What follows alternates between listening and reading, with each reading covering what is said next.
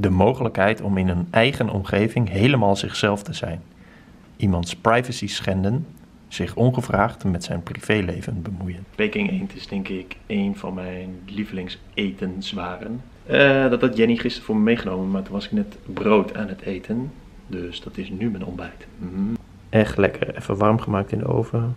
Pancakes, hoisinsaus, lenteui, komkommer.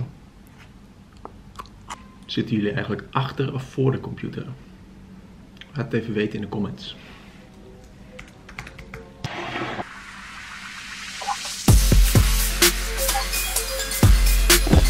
Moet je kijken hoeveel. Ik ben eens een keer naar Beijing gevlogen om Peking 1 te eten. Kan je zeggen, het is de moeite waard. Bij Dadong zit niet alleen in Peking trouwens, of in Beijing. Zit op meer plekken. Maar daar heb je Peking eend en dat eet je dan met suiker. Onder andere. Dit is van Sea Palace. Oh, dan moet je echt een keer daar en daar naartoe. Ah, is goed man. Ik ben op weg naar een vriend. Die woont eh, niet in Amsterdam, maar ergens anders.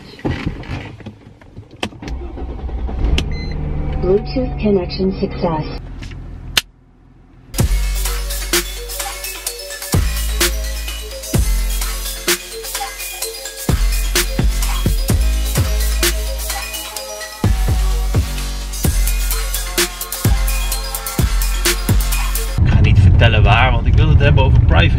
Vlog zijn heel weinig andere karakters dan ik.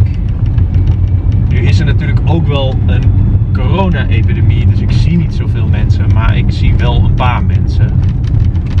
Maar mijn regel is dat ik voor de zekerheid ze niet in mijn vlog doe, tenzij ze dat willen in goed overleg. Dus mijn buurman, wat overigens ook gewoon een vriend van me is, waarover hij nog boos was dat ik hem niet een een buurman noemde. Die vond het wel oké, dus die zit in mijn vlog. Maar vandaag ga ik op bezoek bij twee vrienden. En die doe ik dus niet in mijn vlog. Omdat ik ze niet, ik, ja, ik, kan het, ik heb ze niet gevraagd. Dus ik kan het nu alleen zelf beslissen. Dus ja, dat kan ik dan maar beter niet doen. Ik vind het wel interessant. In eh, het boek van eh, Edward Snowden, Permanent Record, zegt hij dat we de eerste generatie zijn die voor altijd doorleven. Omdat onze data er nog zal zijn na onze dood.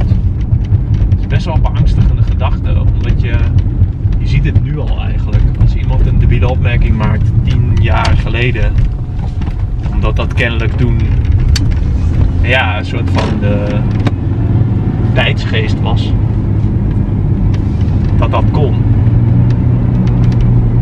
Maar nu niet meer, dan wordt hij daarop aangesproken omdat dat is bewaard. Terwijl vroeger was dat niet zo. En het is sowieso kut, omdat je als je nu iemand gaat aanspreken om wat hij tien jaar geleden zei.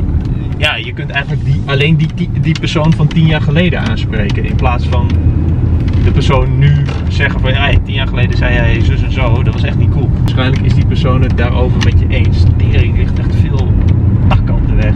Ik denk dat het best wel een groot probleem is. Je kunt wel zeggen, ja, voor mij is privacy niet zo belangrijk, want ik heb niet zoveel te verbergen. Dat is een beetje hetzelfde als zeggen, ik, nou, eh, vrijheid van meningsuiting boeit me niet, want ik heb niet zoveel te vertellen. Dat is trouwens ook een quote van Edward Snowden, dat heb ik ook niet zelf bedacht.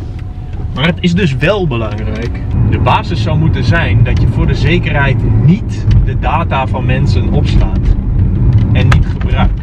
Peter Venmans zei in Filosofie Magazine ergens in 2019 dat privacy te maken heeft met allerlei deugden.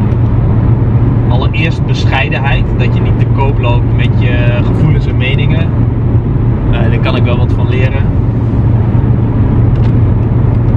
Anderzijds respect.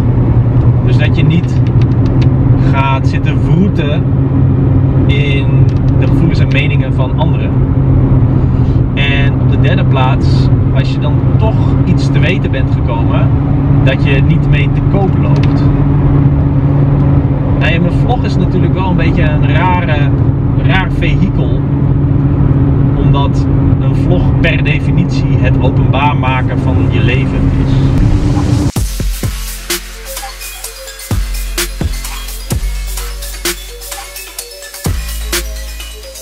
Wat volgens mij nog veel te veel wordt onderschat met betrekking tot privacy, is dat het niet alleen belangrijk is om geen data te verzamelen van mensen, maar dat wanneer je dat hebt verzameld, je dat ook niet met anderen deelt.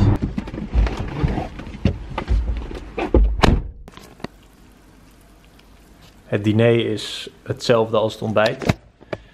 Ben vergeten te lunchen. Ik heb wel een stroopwafel gekregen bij die eh, vriend van me. Was wel een chille stroopwafel. Maar eh, ja, lunch even overgeslagen. Ja, maakt niet uit. Kan een keer gebeuren. Eh, het zijn ook wel dagen waarop ik veel eet. Vandaag eet ik niet zoveel. En ook hetzelfde. De meeste dagen eet ik ook wel gevarieerd. Nu eet ik een stroopwafel en twee keer Peking eend. Als je mij vraagt wat is de lekkerste eend? Peking. Ja. Maar goed, privacy dus.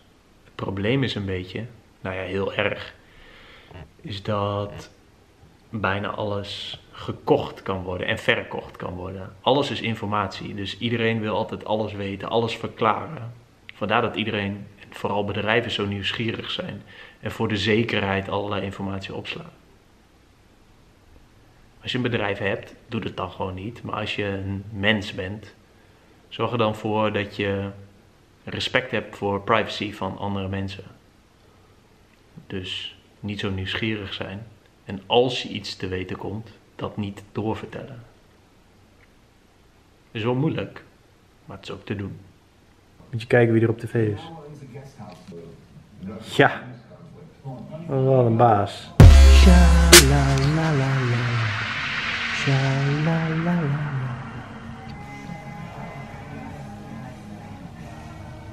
Wat een baas.